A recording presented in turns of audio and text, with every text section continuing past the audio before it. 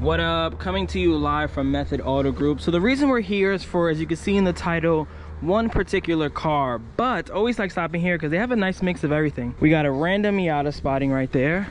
And then next to that, look at this beautiful Mark II. Gotta love that fitment. We have a JDM Toyota Prius. How many people have this? R33, S chassis drift build. One of the cleanest Land Cruisers I ever seen. We got two K trucks and then the star of the show. So I've been driving this car a little bit, just trying to get a feel of it. And I'm gonna be honest with you guys, this might be my favorite K car ever. It's turbo, power windows, airbags, four wheel drive, extremely rare and it's mid-engine it has a frunk so this is what we're to talk about in today's video. I'm gonna drive it get on the highway get up to like 100 kilometers. I'm gonna show you guys some weird quirks like this thing right here show you guys the seat. I'm gonna pop the frunk like i mentioned and just explain to you why this really might be one of the coolest k cars ever. So this is a 1998 honda z. So it's kind of similar to the honda life and the smx i think i want to kind of bunch those two together because if you look over here this is very similar to the Step Wagon and SMX along with all that but it has the same motor as the Honda Life. It just has a turbo attached to it and it's also a K car. Here's a look at the back. We have a lot of room. One sub here, another sub here. This seat goes down. I'm gonna show you guys all the cool little quirks right now. Put this one down as well and then you lift this up, pull this carpet and this is where the motor is. This is where the motor is. I know you guys love Honda Beats and you love the baby NSX. This is like a baby NSX on 15 inch wheels that's also all-wheel drive. All right, now let's pop the hood and look at this. Coil packs, we got the turbo right there. There's the intercoolers you can see. Look how clean it is under here. Alternator and everything looks nice. We got the oil cap. This thing is crazy. Let me show you how it looks from here. You can see the intercoolers right there. There's the motor. The air box is, I think, right there. I'm not 100% sure, but come on, look at this. I know you guys were not expecting to see the engine back there. And now let's pop the trunk and I'll show you that this car gets even better. So under the front, we have the spare tire, we got the battery, washer fluid. Let me hang this up real quick. And the best part by far is if you unclip this, unclip that, pull this out, you get some storage. Are you kidding me? You guys know I love some weird quirks. Like, look at that. Tell me this is not the coolest K car ever. You can fit all your groceries up there. You know the Wagoneer has a little cool thing under the seat. That's cool and all, but under the frunk? All this thing needs is a blow valve. Like if I didn't have my Honda Life right now, I think I would sell my Motocompo instantly and buy this car. Like this is such a cool ass car. But let me close this back up. Let's drive it. Let's get into the interior a little more. But I had to show you guys the engine. I had to. And just like that, we're back to having a normal car. These seats go all the way down. I love the fact that they made this car so livable. You have a cup holder on this side and this side, two in the front, little storage pocket there, little storage pocket there, big speaker here, big speaker there, rear seat belts, which is amazing. Like I mentioned, driver side airbag and a passenger airbag. That is unheard of in these K cars. Power windows is a nice touch. Power mirrors are a good touch. Power locks is a great touch as well. And then on the passenger side, we have this little storage pocket. You get to fit some things there. No glove box, which is a little weird, but this is nice. And then the fog lights and everything work. I'll show you guys how that looks right now. Here's the rear lights. You can't really tell that they're on, but up here you can definitely tell that the headlights and fog lights are on.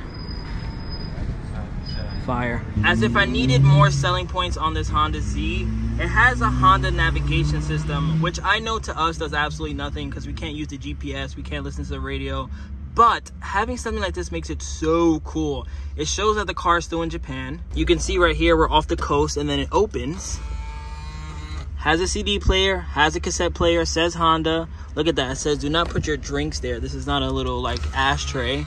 And then you still get the FM radio. But like I said, if you just have a transmitter, I would 100% keep this if I still had this car. Like taking this out and putting like a regular double din, to me just doesn't do it justice. Like it all still works. Like come on. But now, let's start it. Has 111,000 kilometers. Starts right up. The floor mats are extra minty. First drive in the Honda Z. Let's see how this feels. Currently on this back road. We're cruising at 60 kilometers an hour right now. Car feels fine, has power steering. Like I mentioned, it's full-time four-wheel drive. Picking up speed, picking up speed while going uphill, which is nice. You don't really get that in a lot of cars. I don't really know how to explain it, but this doesn't feel like a K car. Like for me, this car feels too nice. Like if this is someone's first K car and this is like their introduction to K cars, you'll be very spoiled. We get two airbags, power mirrors, power windows, the AC's cranking, full-time four-wheel drive, turbo. It's a four-speed at that. It isn't even like a three-speed like my Honda Life.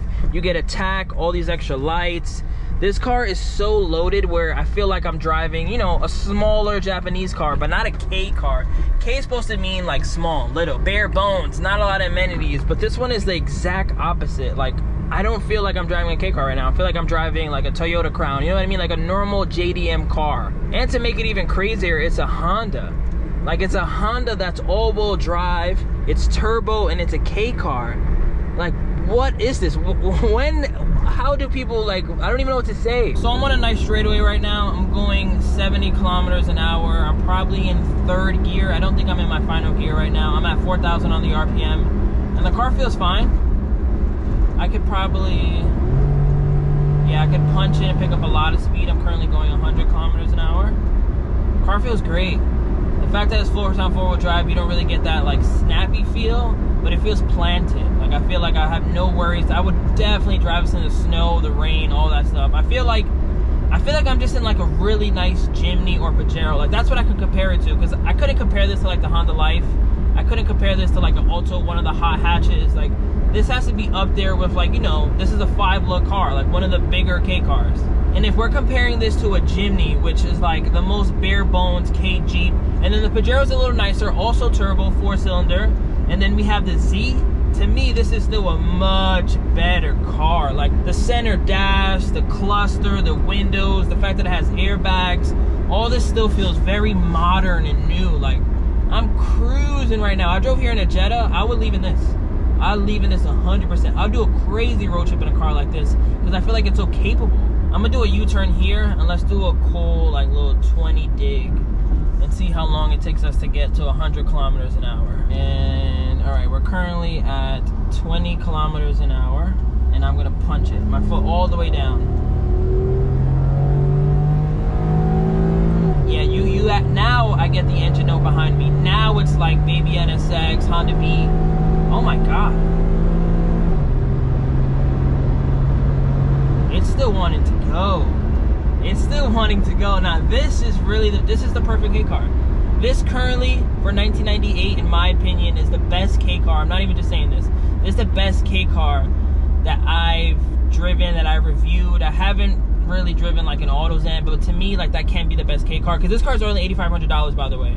Like I haven't mentioned the price yet. This is only $8,500. Like obviously an Autozam is cooler cappuccino, you know, to each his own. I could see how this would be better than a cappuccino. Cappuccino is very uncomfortable, seats two people. It's not really the best everyday car.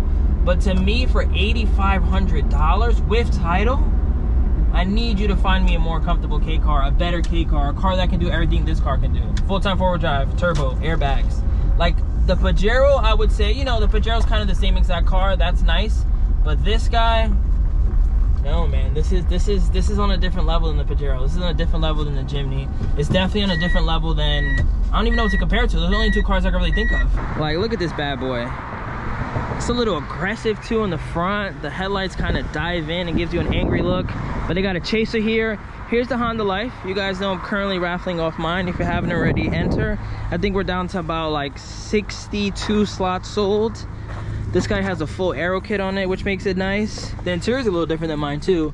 Mine has like circle, triangle patterns, but it's just as cool. What do you guys think about the kit? I think the fact that it's like this like burnt orange makes it even cooler. Automatic, just like mine. Clean, just like mine. 92,000 kilometers. I love that mine has a wing because now seeing this one with the side skirts and everything, the nice little like front lip, sick. And then they got this Suzuki Carry that's a dump. I believe this one is around 55 too. And then this Nissan is cool because it's manual and it's not a K car obviously, but it has cool little quirks. It only has 30,000 kilometers. It kind of reminds me of like the SER. It's a Pulsar. That thing's nice, but the star of the show, guys. You already know. I don't know how much longer I have to say that this car is really perfect because just look at it. You get a lot of storage back here. You could put this seat all the way up. You could fold them. You get some speakers. I'm sure this thing bumps. Got the little intakes there. Fog lights. I just gotta color those yellow.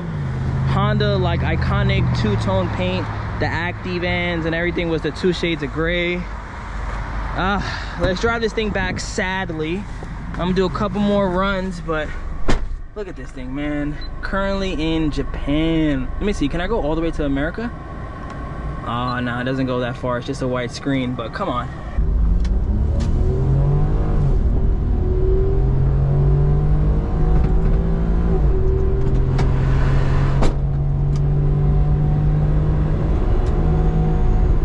Yeah, like that is that is exceeding K car expectations. If this is what we have to look forward to starting 1998, I hope that this Honda Z is like at the cornerstone of the cool cars that we're going to start to get in 1998. Because there's a couple different body styles starting in 1999, especially all the K trucks, most of the K vans, but there's really nothing else I can say about this car. I still have the AC on. This whole time I've been punching it with the AC on. It's on blast. The car's cool. Bunch of headroom. Interior lights work. It's all-wheel drive. It's turbo. It's a K car. If this was manual, I was thinking about it. I don't know if it'd be cooler. I don't know if I want this in manual. I think the fact that it's so comfortable, it has so many like comfortable little creature comforts. I don't know if I really want to be changing gears. I love the fact that it's automatic and I could just be like chilling, driving like this. Nothing to worry about. I don't know if I really want to be banging through gears in like a, like a, I don't know. I don't really, it's really, let me know in the comments how you guys feel about it. Because when I had my automatic Jimny, I didn't love it as much as my manual Jimny, but that one, I put a boost gauge and all that fun stuff in there. But this one too, I'd put a boost gauge and make this one sick.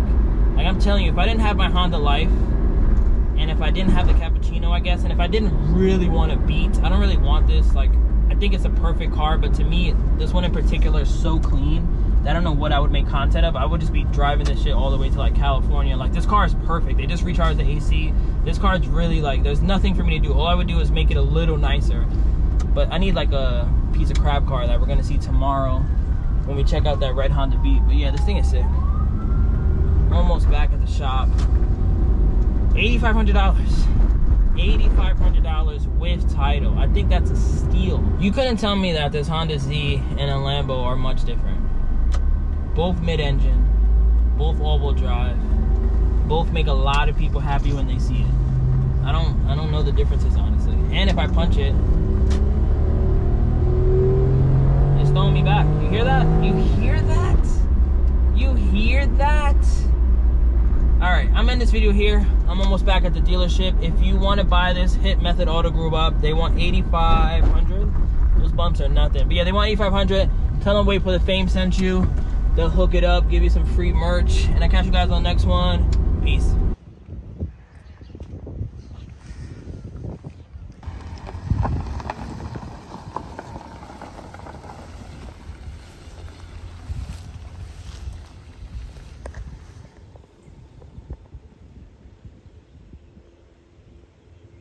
This is really one of the coolest K cars.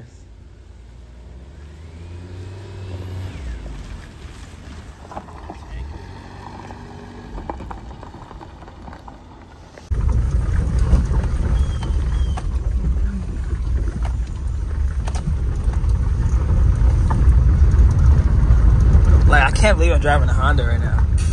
Like, does Honda have any off-road vehicle? I guess like the Ridgeline. Well, you know, other four-wheelers and Yeah. But not even not only a Honda, but a Honda K car. Right. That's four wheel drive and turbo. Right. Remember the name. This is way before the fame.